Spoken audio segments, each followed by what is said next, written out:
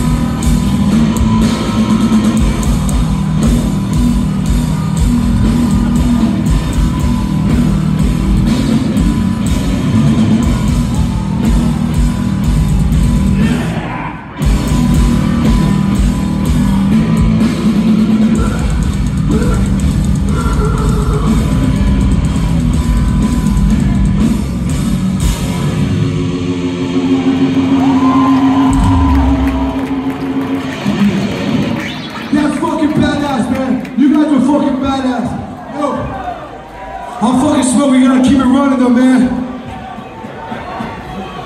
Straight up, man. When I fucking decide I want to fucking sing for a band, all I want is videos of fucking rotting out, man. San Pedro Pride, Los Angeles Pride.